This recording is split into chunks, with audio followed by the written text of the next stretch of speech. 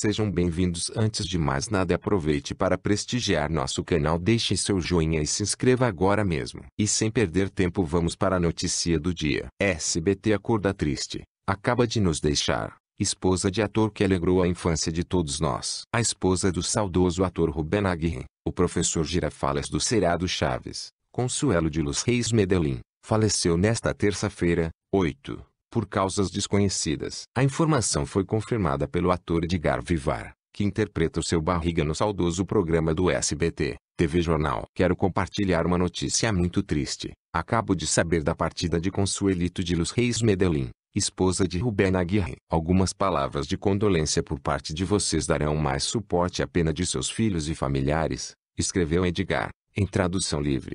E aí, o que você achou? Deixe seu comentário. Obrigado.